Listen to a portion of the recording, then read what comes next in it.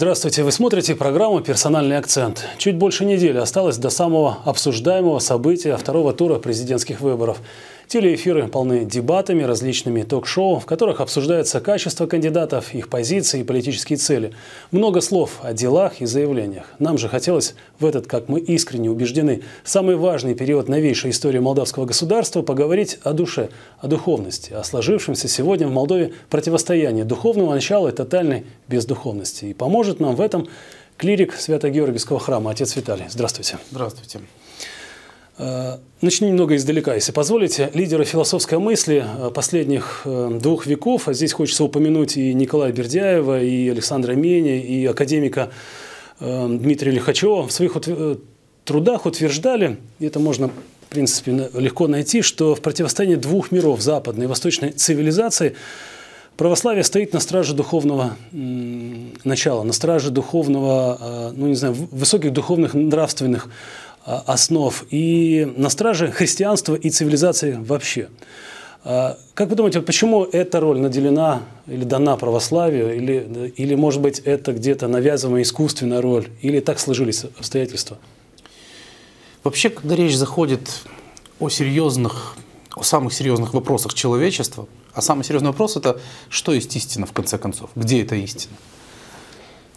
В этих вопросах мы упираемся опять-таки вот в библейскую ситуацию – весь корпус книг Ветхого Завета, он говорит об одном маленьком народе, который, собственно говоря, в рамках истории был на таких задворках, что и говорить о нем, в принципе, не приходилось.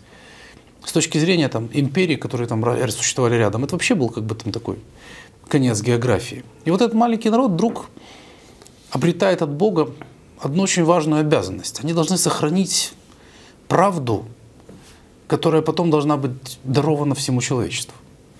И ради этого этот народ претерпевает самые болезненные вообще моменты и самые трагические перипетия истории, которые входят ну, в классический образец вот этих книг ветхозаветных и рассказывают нам, чему подвергается любое сердце, любой народ, который выдвигает себя с точки зрения вот истории как народ, хранитель или человек, хранитель какой-то правды.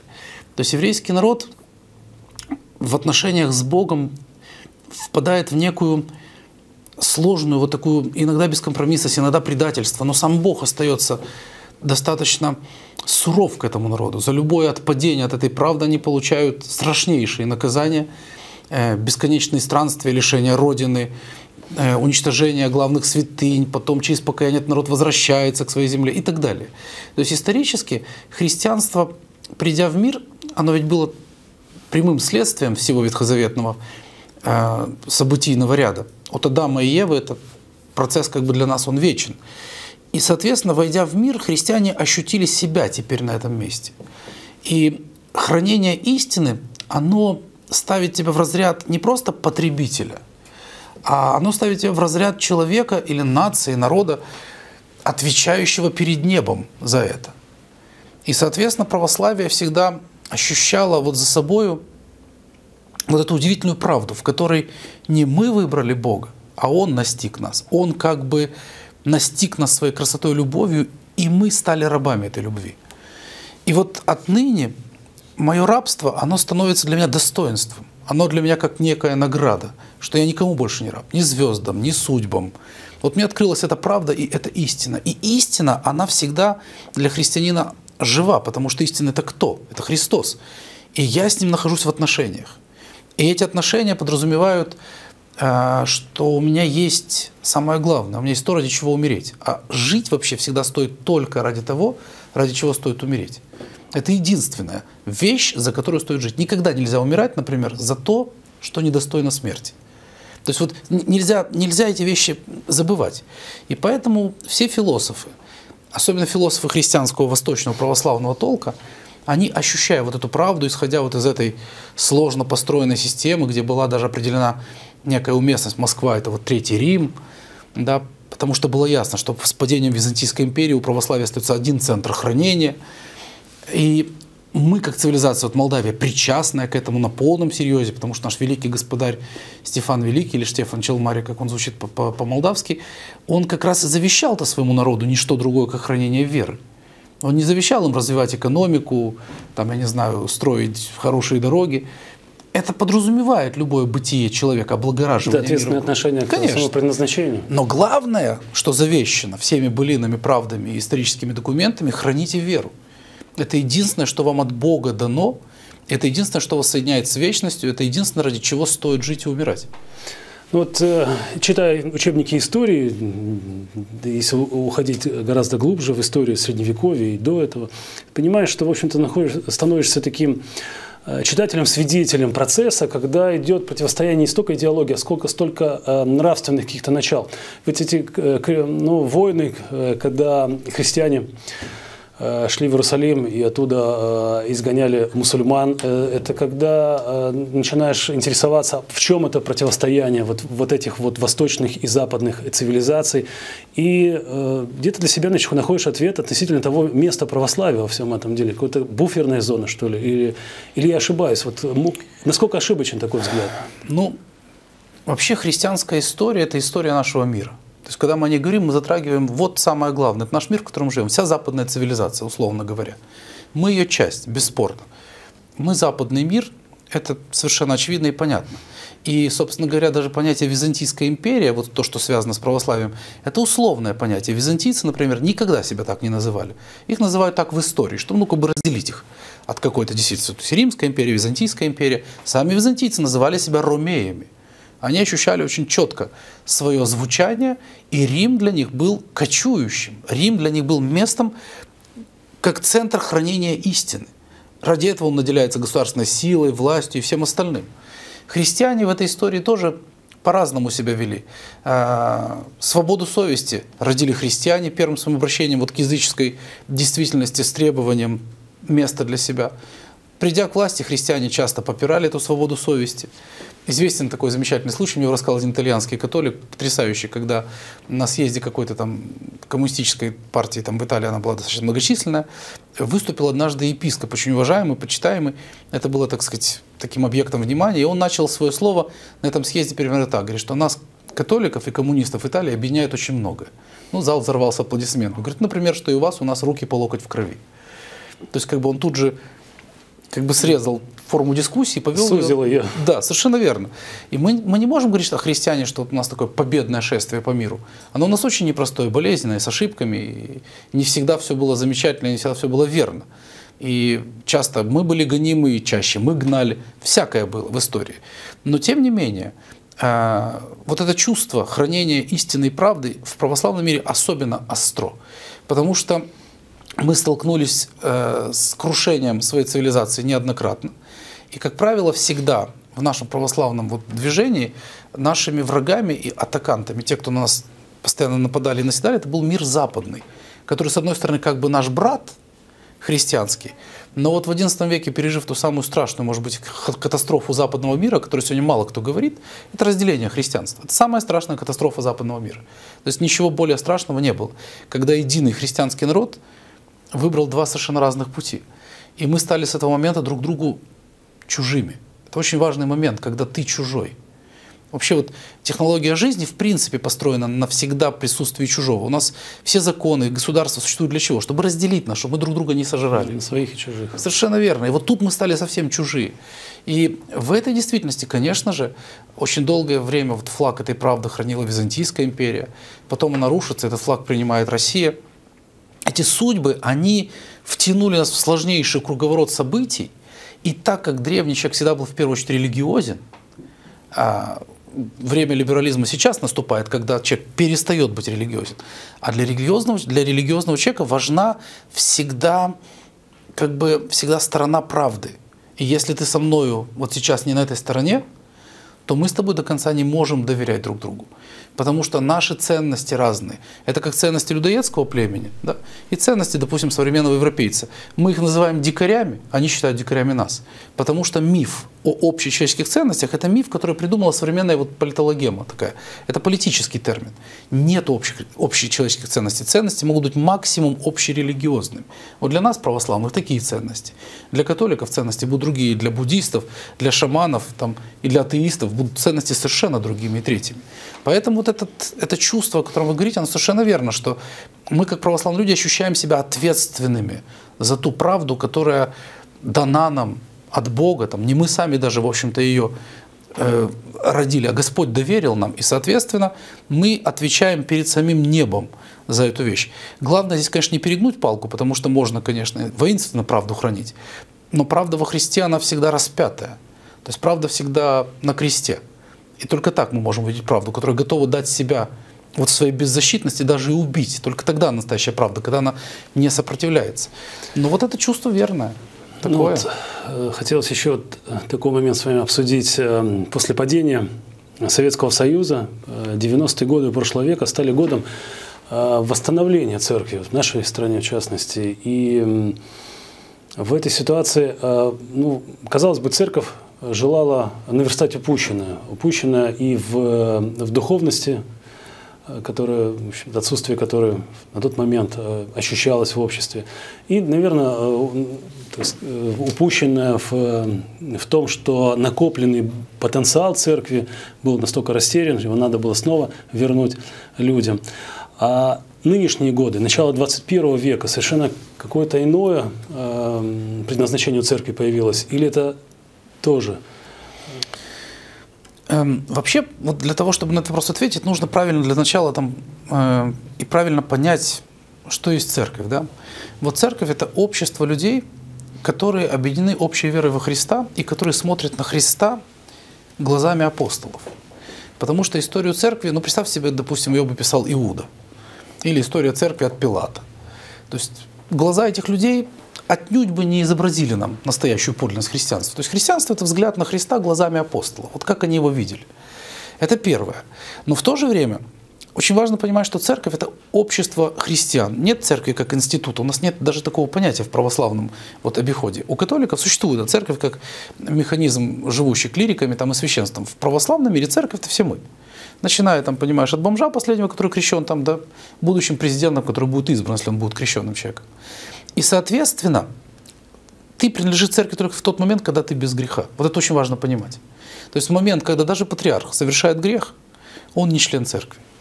Это очень важный момент, который нужно понять. Церковь всегда непорочна. Но непорочна не потому, что мы такие, а потому, что она свята святостью Христа. Он ее глава. И поэтому для нас есть вхождение в церковь вторичное, третичное, вся через покаяние, через исповедь. Каждый раз я прикасаюсь к чему-то, я должен очистить себя, войти. Я не могу тем, кем я вот сейчас там нахожусь, своими грехами и тараканами. И поэтому, говоря о церкви, мы можем сказать, что вот как сообщество людей, мы, конечно, в 90-е годы рванули, понимаешь, конечно, какую-то неподъемную такую ношу, но мы не знали, что делать. И вот сейчас наступает некое время просеивания. мы первое, что стали делать, мы стали строить строить, чинить, красить, белить. Мы понастроили всего, конечно. И вдруг оказалось, что, что мы упустили внутри этого события человеческие сердца. Это оказалось гораздо сложнее. Гораздо проще построить здание и казаться, вот, что мы сейчас тут вот создадим условия, заживем, все у нас там двинется, ничего не двинулось. То есть мы столкнулись сегодня с ситуацией номер два – которая должна была быть номер один. То есть то, что надо было бороться с отсутствием духовности или с этой Совершенно справедливо. То есть нас, нас опять-таки провели, потому что, знаете, как замечательно, вот цитата из моего любимого фильма «Револьвер», значит, что э, нельзя никогда войну отменить. Ее можно отсрочить к пользе твоего врага. И вот эта война, она идет всегда. Это война и духовная внутри тебя, это война и внешняя. То есть пока мы спим, наши враги работают. То есть в, в наше общество вкладываются, например, там, известно разными западными и прочими там, организациями куча денег. И мы понимаем же, мы же не сумасшедшие, что если кто-то деньги вкладывает, то есть благотворительности прямой в мире не бывает, эти люди что-то хотят. За это придется расплачиваться. За это придется какие-то там выставлять свои дивиденды. То же самое в духовной жизни. Мы проиграли в каких-то вещах очень серьезно и сильно. И вот сегодня, когда мы столкнулись с тем, что у нас вроде бы 94% православных людей, но вот если наши зрители там сами себя сейчас проверят сердце, кто из нас ну, готов сказать, что он знает наизусть хотя бы символ веры? Ну, опустимся ниже, отче наш. По сути говоря, мы делегируем, мы принадлежность свою христианству как бы декларируем, вроде бы крестик у меня там на груди есть, но что я знаю о своей вере? Что я знаю о своем Боге? И, соответственно, именно поэтому у нас может быть православный колдун, у нас может православный там, человек ходить в общество рерихов, там, я не знаю, у нас может быть православный человек, который будет там, исповедовать там, ценности толерантности, утверждать, что он гомосексуалист, и он при этом христианин православный. То есть вот эта система ценностей и понимание церкви очень глубоко покорежены как и все наше общество глубоко покорежено. А это и есть самая лучшая почва для всех манипуляций. Вот лучше не придумать. То есть невежество – это гениальный способ вообще трансформировать нацию, делать из нее все, что угодно. Мы сегодня с этим реально столкнулись, что в христианском мире нам заново надо евангелизировать, нам заново надо миссионерскую такую работу проводить в народе, который весь вроде бы как христианский, знает своих святых, иконы хранит их, ездит по монастырям.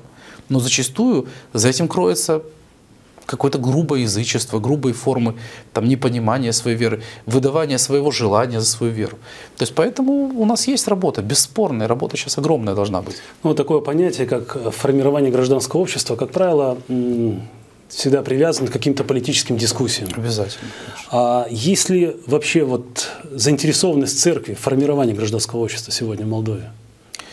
Эм, если говорить о церкви, вот действительно, как, как о той правде, о которой я вот рассказал, то, конечно же, в этом смысле церковь всегда выступает за то, чтобы человек жил не только по совести. Совесть – это слишком маленькая часть человека. Именно поэтому, кстати говоря, в Писании слово «совесть» почти не употребляется. Потому что с совестью всегда можно договориться. Она же моя совесть. В Писании всегда есть слово «выше, чем совесть» – заповедь. То есть есть то, что выше тебя, то, с чем торговаться бессмысленно. И, соответственно, соответственно у нас, у христиан, э, отношения с этим миром, они также перед Богом, как и все остальное. И мы не можем быть к этому миру не то что безразличны, мы не можем даже быть нейтральны к этому миру. Человек во все времена в заповедях, в простых, там, призывался к неделанию, там, не, не делай того, не делай того, не делай того. Христианство меняет эту заповедь, говорит, возлюби, то есть действуй. Ты не можешь просто там, не воровать, не красть. Это, это, это уже не заслуга в христианском мире. Это то, что в принципе обязан делать нормальный человек. А ты должен дальше действовать в этом мире, должен его облагородить, ты должен его привести в порядок. И в конечном итоге ты должен этот мир не, не позволить ему скатиться в какое-то в безумие, в бесовское безумие.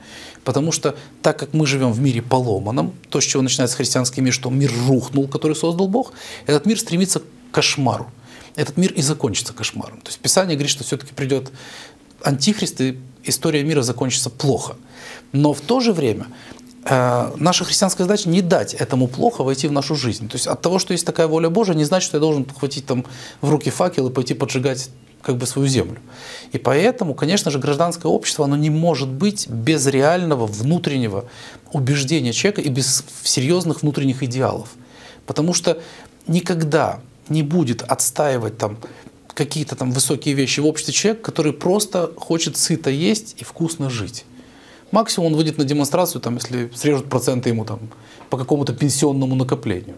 Но гражданское общество... напрямую зависит, э, ты привязано к его, Конечно. он говорит, желудку, к его, Совершенно верно. К его идее. Только истина, настоящее стремление к истине делает тебя человеком. Потому что у тебя есть шкала. Ты понимаешь, где твой ноль, вот откуда начинается у меня добро, откуда начинается у меня зло.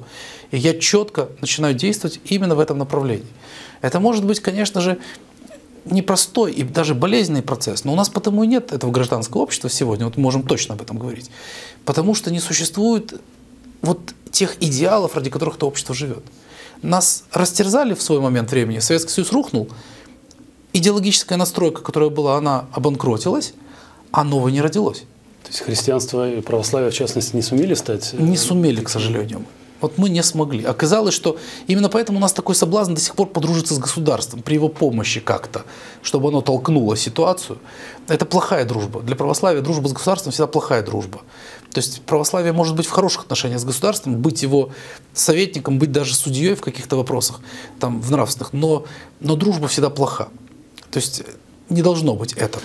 Ну, тогда вот демонстрация своего, будем говорить, видения того, как э, ну, или к чему приведут те или иные процессы в стране, это можно ли рассматривать как, ну, не знаю, там, попытка сближения с государством или наоборот?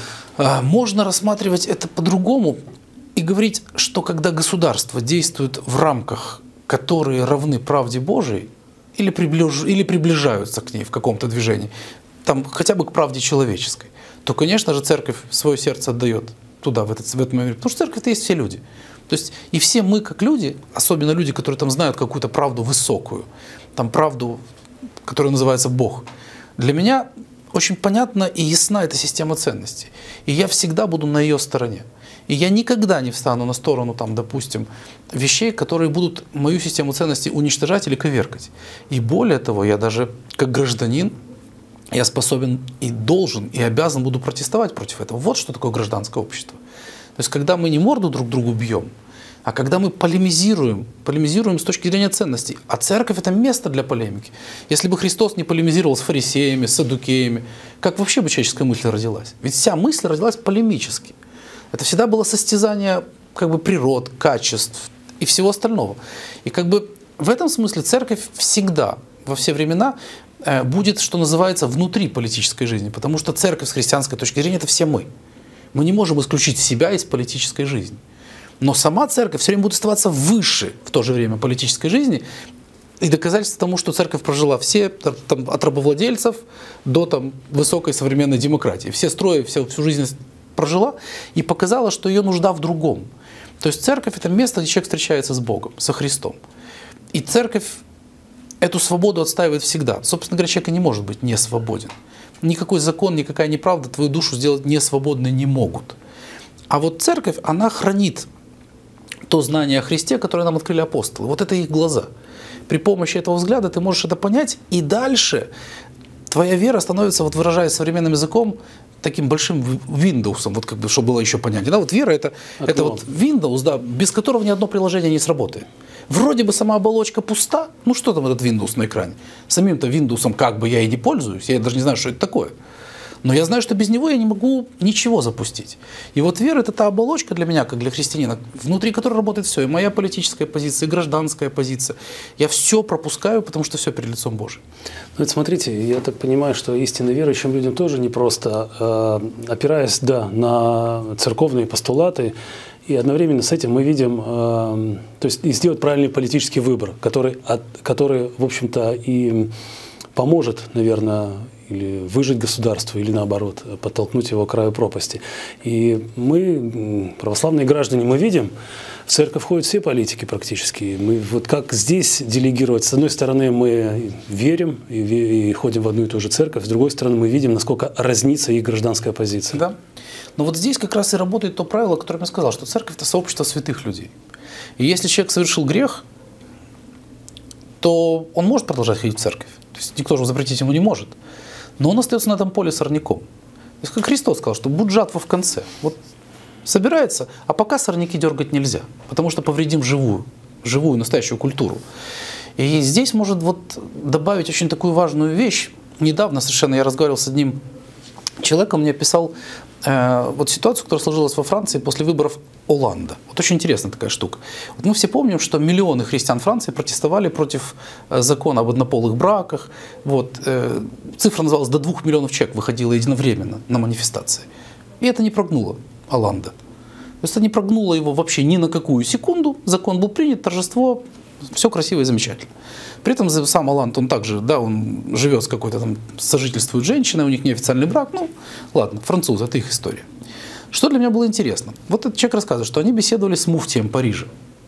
И говорит, а почему мусульмане не вышли вот на эти же самые акции протеста? Гражданское общество Франции было, так сказать, вот все такое в гневе, столько людей. Он говорит, во-первых, говорит, понимаете, говорит, для меня, как для мусульманина, это настолько очевидный грех – что даже говорить о нем мы считаем неприлично. Ну, действительно, в Евангелии есть такая красивая фраза, что есть вещи, о которых срамно и говорить даже. Не то, чтобы вот не запускать эти окна Вертона проклятые, а мы вынуждены говорить о гомосексуализме, о все, потому что это давит нас, вот, что называется. Хотя об этом даже неприлично говорить, не то, что обсуждать. Ну ладно. И он говорит, я не вывел народ. А во-вторых, говорит, мне даже удобно, что вы европейцы такие. Потому что я в мечети говорю своим прихожанам, ну что, хотите быть вот? Вы такими хотите быть? Вот кем вы хотите быть? Через несколько месяцев это правительство Оланда на парах счастья, что так легко им это удалось, они решили проект сексуального образования в школы протащить. Вышло 20 тысяч мусульман. И закон не прошел. Спрашивается опять того самого муфтия. Почему, почему, почему, спросили того муфтия, почему теперь вы выползли? Там же вы не, не пошли на, на какие манифестации. А тут он говорит, потому что это касается наших детей. Потому что они хотели залезть в жизнь наших детей, а вот этого мы им не позволим никогда в жизни. И вот 20 тысяч мусульман и 2 миллиона христиан. Да? Это говорит о том, у кого порох в пороховницах есть. Это говорит о том, что мы, христиане, сок потеряли. То есть мы в своей стране, вот часто нам говорят, вы церковь с государством, мы это государство за всю историю, вот кто нас смотрит, мы не заставили ничего сделать в свою пользу. Мы не смогли отменить тот самый закон о равенстве шансов. То есть мы не смогли у государства вытребовать то, что мы как христиане, в принципе, по закону можем иметь свои даты, праздники и так далее. То есть это, это одна из главных причин, почему э, происходит то, что происходит даже в системе Совершенно верно. Нашей элите в этом смысле важнее, что скажет Вашингтон. То есть у нас на День Европы приезжают европейские политики с ветеранами пройтись. Все-таки они почему-то с гомосексуалистами идут там по улице Садовой до американского посольства. То есть вот как эти вещи непонятны для меня загадка. Непонятно, как возникает политика из ниоткуда. Например, наша действительность, да, возникает ниоткуда там никто, и вдруг этот никто получает невероятную поддержку. Ну вы же не маленькие дети. Мы понимаем, что мир идей живой. Мир идей, за ним стоят люди, за ним стоят энергии. Вот не просто так Бах может написать какое-то произведение, и вдруг весь мир им будет восхищаться. Это какая-то духовная действительность за этим стоит что-то трогает сердца этих миллионов людей. И вот здесь также вдруг возникает человек ниоткуда, никуда, у него программа, процессы. И таких вещей мы видим множество раз. Множество раз. Какие-то организуются события. Мы понимаем, что кто-то за этим стоит. Мы понимаем четко. И влияние это гораздо сильнее, чем влияние того же Евангелия на души христиан, людей, которые там считают себя крещенными людьми. Раз мы заговорили уже о политике, вот хотелось бы даже, ну, давайте раскроем скобки. Как вы думаете, какие идеи тогда э, двигают людьми, которые э, голосуют сегодня за одного из кандидатов? Ну, уже давайте с, как бы и сузим да, у нас их всего два. У нас их всего два. Председатель партии социалистов Игорь Дадон и председатель партии ПАС Майя Санду. И вот э, человек, который ну, в политику пришел э, не так давно, и рейтинг эм, где-то порядка там, чуть больше 10% отстает от лидера после э, голосования в первом туре. Вот, на ваш взгляд, что э, было такой мотивировочной частью, э, не знаю, решения голосовать за Майя Санду? Мне кажется, что она во многом саккумулировала себе протест. То есть есть какая-то часть людей, которые не приемлют то, что предлагает, с одной стороны, там, допустим, партия социалистов и лидер этой партии. Это большая достаточно часть людей, вот, но для этого тоже трудятся целые толпы политтехнологов. То есть вот в каждом обществе существует очень интересная вот такая действительность. Я никогда этого не понимал, поговорил в пивной с одним немцем. Вот в известной там в пивной в Мюнхене один немец такую простую вещь мне такую, он восточный немец, услышав русскую речь, попросил рассказать о Донбассе, о Украине, что я там думаю.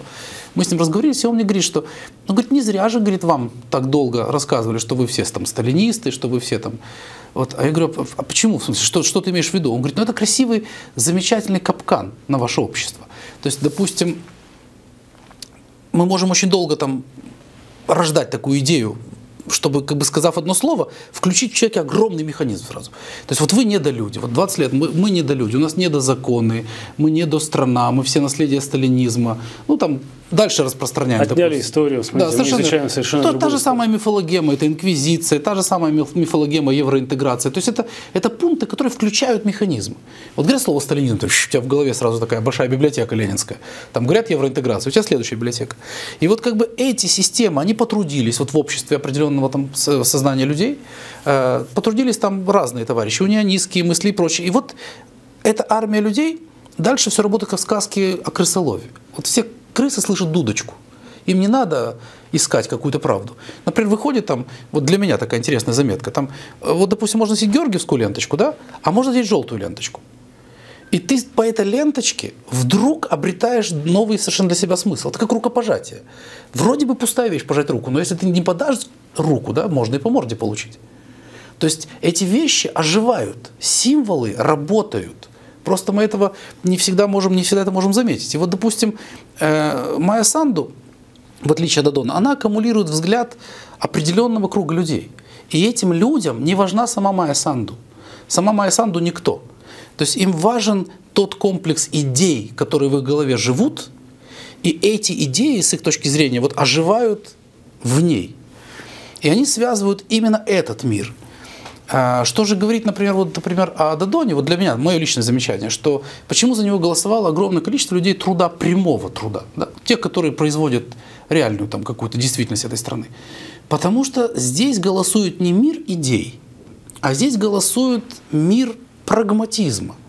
Мне надо кормить семью, мне надо устраивать жизнь, мне надо действовать. Меня не интересуют там эти элиты проклятые, которые без того богатые и без меня. Я хочу, чтобы я мог реально производить, продавать, торговать, чтобы я был защищен и так далее. То есть, как бы грубо говоря, здесь столкновение идей в любом случае.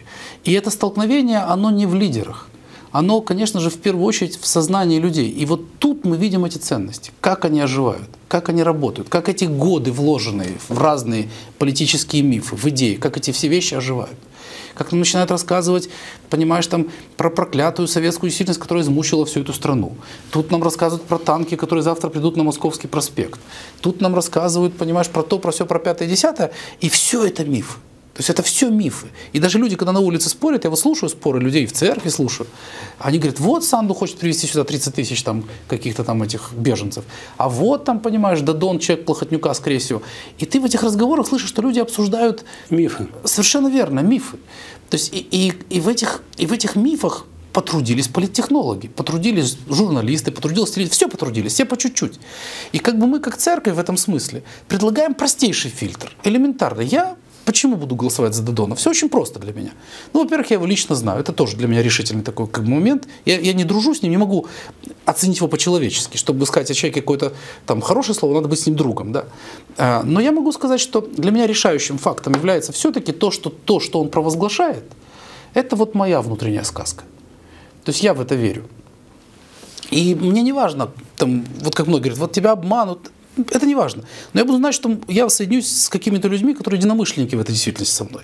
Я соединюсь с ними просто не потому, что мне там неприятно, там Майя Санду. Да я вообще ее не знаю, знать не собираюсь.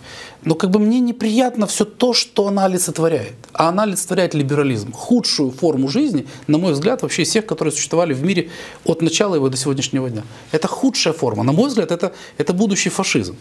Потому что это самое не тоталитарное, а это сверхтоталитарная вообще будет форма жизни. И мы сейчас уже видим это давление. Ну, простой пример.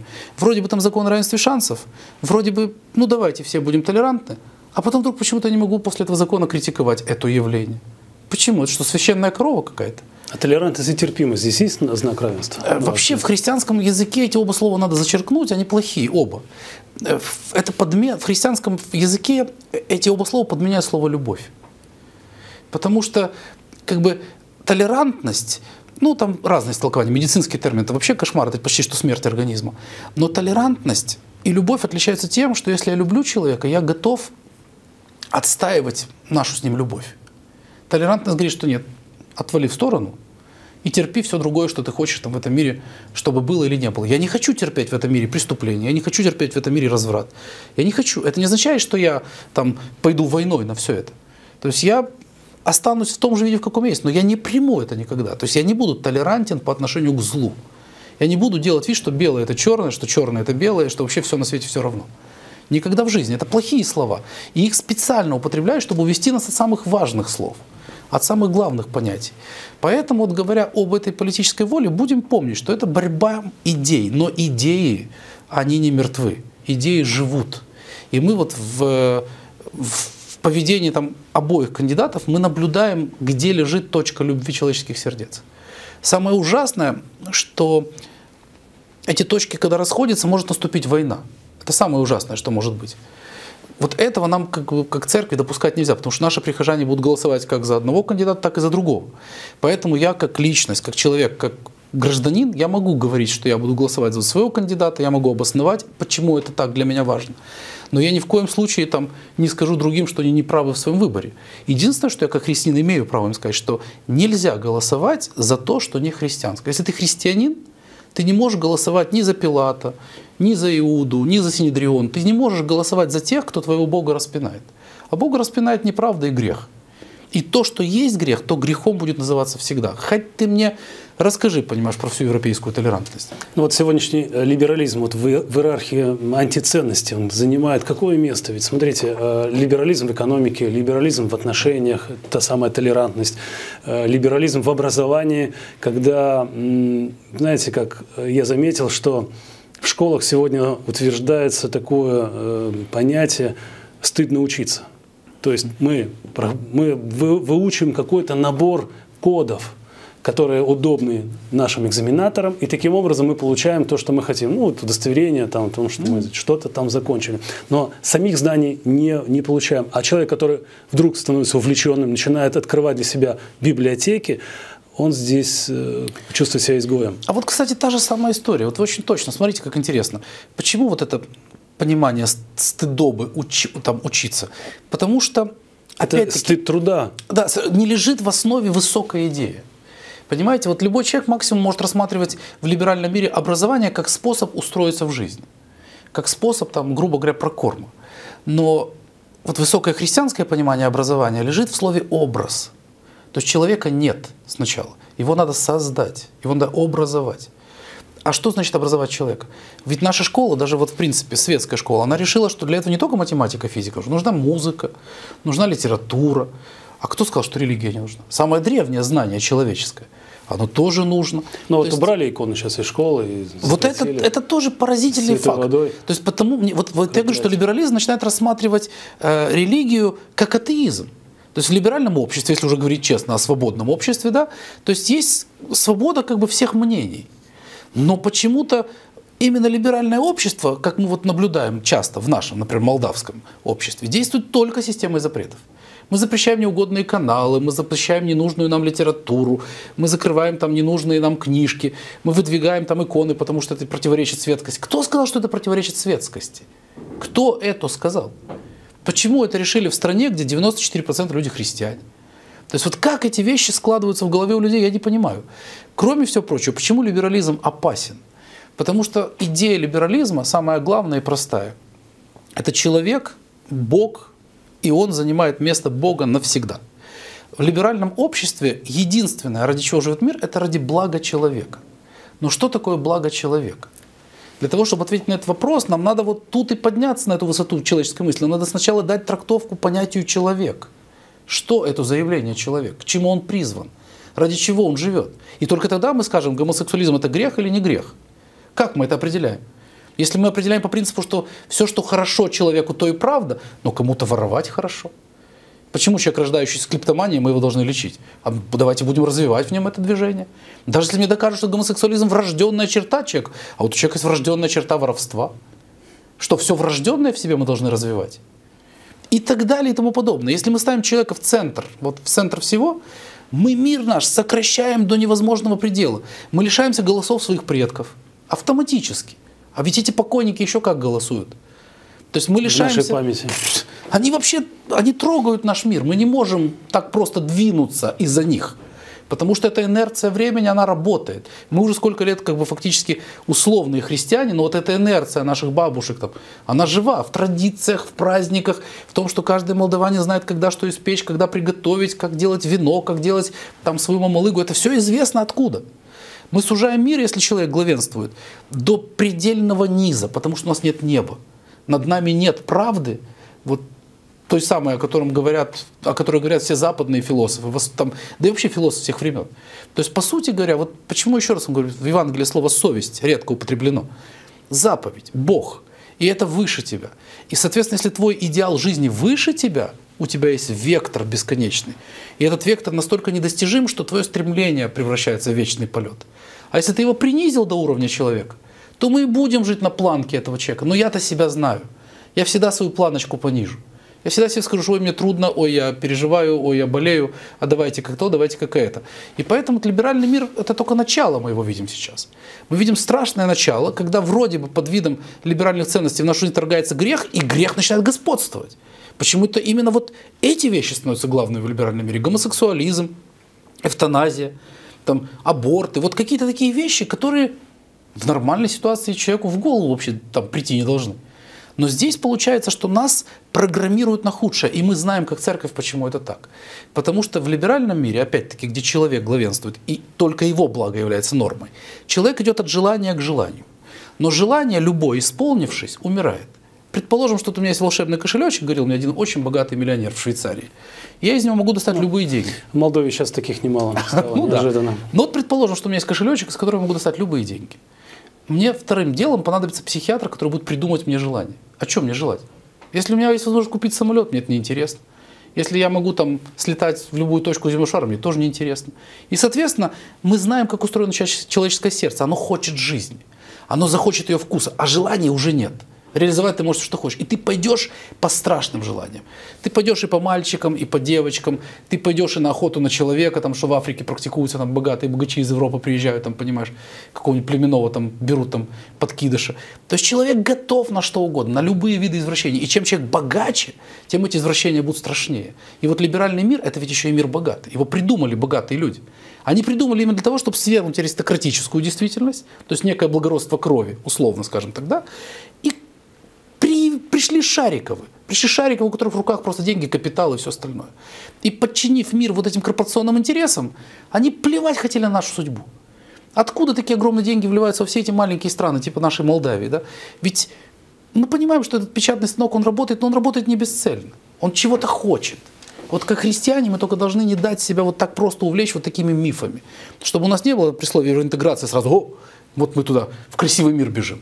То есть от того, что мы повесим эту табличку, у нас в лифтах Понимаешь? Ну, как показывает события мира, это как, как, по сути, это и красивого нет. Евроинтеграция для одних это, э, не знаю, это гастарбайтерство. Для других э, Совершенно и верно. очень редкой, малой части людей это только лишь путешествие и знакомство с, с Европой. Но это, а, эти путешествия неоднозначны. Ну, вот слушая вас, э, так сказать, о, том, о той форме либерализма, в которой он сегодня уже существует, вот нет-нет, ну, не знаю, может, такая навязчивая мысль моя, но во всяком случае на пирамиде, на верхушке всего этой пирамиды я вижу хрупкий образ э, вот сегодняшнего женщины-политики Майя Санду, которая ну, решила, что, наверное, ей надо быть э, тем человеком, который узаконит этот э, максимальный либерализм в нашей стране. А в данном случае это значит уже полностью отринет, э, ну не знаю, от, Мне кажется, она уже от людей главные ценности. Мне кажется, она уже созревший продукт того мира. Она, может быть, и хрупкий политик, и, там, и женщина, у которой там много чего про нее там говорится – обсуждается в том числе и то, что она э, там семью у нее, детей у нее это ни в коем случае не в осуждении ее обсуждается, а это обсуждается потому, что она согласилась на эту должность потрудиться ради нас, и, соответственно, меня как избирателя это тоже очень интересует. Потому что для меня важно, например, что там президент моей страны не имеет опыта собственной семьи, собственных детей. Это не хуже или не лучше, это не классификация качеств внутренних человека. Но для меня это важное качество. Потому что он не сопереживает нашим трудностям, Совершенно людей, верно. людям семейным. Совершенно верно. Что он может знать о воспитании? Да? То есть, как бы, как, знаете, как этот замечательная эта шутка была у Жванецкого великолепно. Говорит, какое мнение об, архитектуре, об архитектуре может иметь человек без прописки? То есть вот то же самое и здесь. То есть это не в укор, ни в какую там, не в скандальность. Но для меня вот в, в этой женщине, что для меня сразу бросается в глаза, что она очень готовый продукт. То есть вот она очень готовый либеральный продукт. Так как она себя ведет перед камерой, так как она цепляет вот эту желтую ленточку, там, которую, по идее, в американской песне там, человек, выходящий из тюрьмы, там, просит на дуб повязала, чтобы его любимая, чтобы убедиться, что она ему верна. Вот. И мы по этому поводу там, там тихо подхихикиваем, что дуб уже был как-то там в истории одной эмблемой. Ну да, вот. да. Но, но вот это, это, четкое, это четкое позиционирование. И она не стесняется себя таким видеть. Ей, ей очень важно, чтобы именно так мы ее восприняли. Это и есть ее месседж, как бы грубо говоря, что вот я такова. И вот те, кто, те, кто слышит этот голос, айда за мной.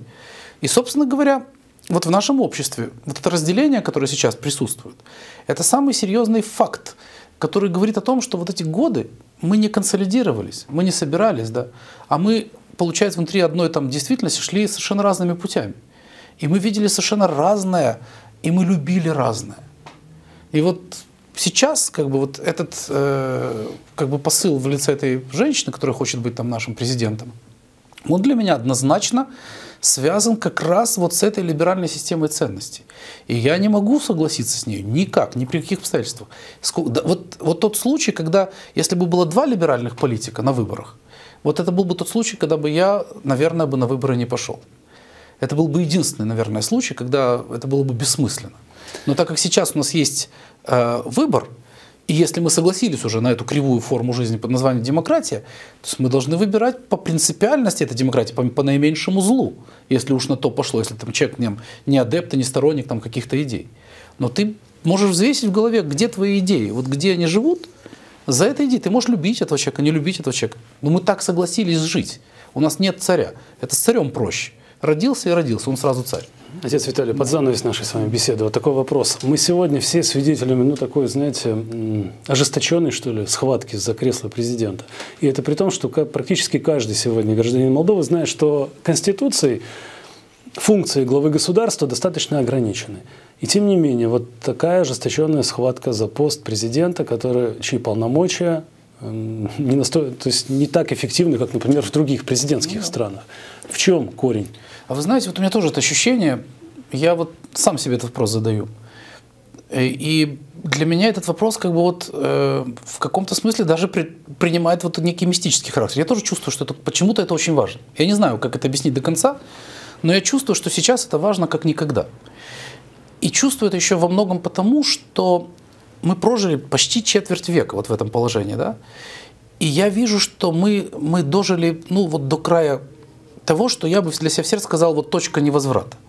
То есть мы ушли за какой-то такой предел, за которым, может быть, это будет вообще последний выбор, который нам предоставляется. Судьбой. И, может быть, это и не сильно важная должность в этом смысле. Но, вы знаете, лиха беда начала. То есть первый напор, он действует как некий росточек, пробивающий асфальт. Дальше растет дерево. Посмотрим. Во всяком случае, если эта идея отобразится в нашей жизни, вот идея, допустим, социалистов, да, это как минимум будет говорить о том, что мы способны на многообразие. Пусть будет так. Мы жили 25 лет одной единственной идеей практически. И вот, может быть, сейчас наступает время, когда уходят те динозавры еще, которые помнили бывшее, и народилось то новое, что уже не знает ничего. И вот на грани вот этого процесса возможно еще какое-нибудь действительно поле, на котором можно этот выбор произвести. Я не знаю, как это объяснить до конца, но я чувствую вот и призываю всех именно поэтому пойти на выборы. Неважно за кого. Пойдите. То есть это, это очень важный момент для меня в том смысле, что я впервые, например, за эти вот годы услышал какие-то слова, которые я очень хотел услышать всегда. То есть я их услышал, не буду говорить там какие, но я четко вот, я никогда их не слышал. И мое сердце принял эту сторону. Но в силу того, что я 25 лет ждал этих слов, то есть я так понимаю, что или придется еще 25 лет ждать, или просто этого уже не будет никогда. Ну и последний вопрос. Вы принимали участие в пресс-конференции с э, епископом Бельским и Фалерским Маркелом.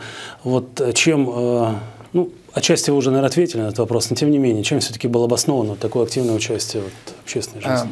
У Владыки Маркела вообще такая достаточно живая позиция, и он, собственно говоря, как епископ Бельс, он представлял мнение своих священников. Вот я поддержал его в этом мнении, и, собственно говоря, все достаточно просто. То есть э, позиция любого пастыря, да, чтобы в мой загон с моими овцами не забежали волки, чтобы хищник не растерзал это стадо. И забота лежит именно в той плоскости, чтобы не дать человеку как правильное знание. Церковь не ставит такой задачи форматировать сознание человека. Мы не сектанты.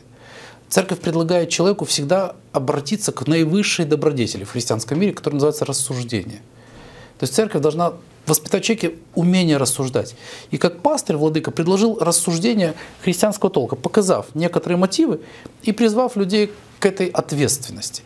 Конечно, это выглядит бесспорно, как поддержка там, кандидата от социалистов, но это только в силу того, что у нас нет других кандидатов. То есть у нас мы выбираем из двух.